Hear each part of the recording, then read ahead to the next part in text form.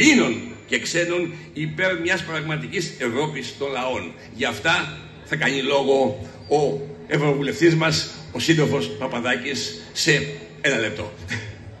Συντρόφισσες και σύντροφοι, φίλες και φίλοι, φωνάζουμε το σύνθημά μας. Σπάμε τα δεσμά της Ευρωπαϊκής Ένωσης.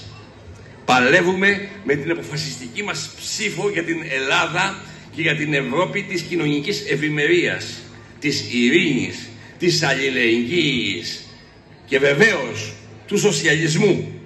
Με πολύ πιο δυνατό ΚΚΕ ξεκινάμε τον αγώνα για την πανευρωπαϊκή αντεπίθεση. Εμπρός, εμπρός μαζί με το ΚΚΕ.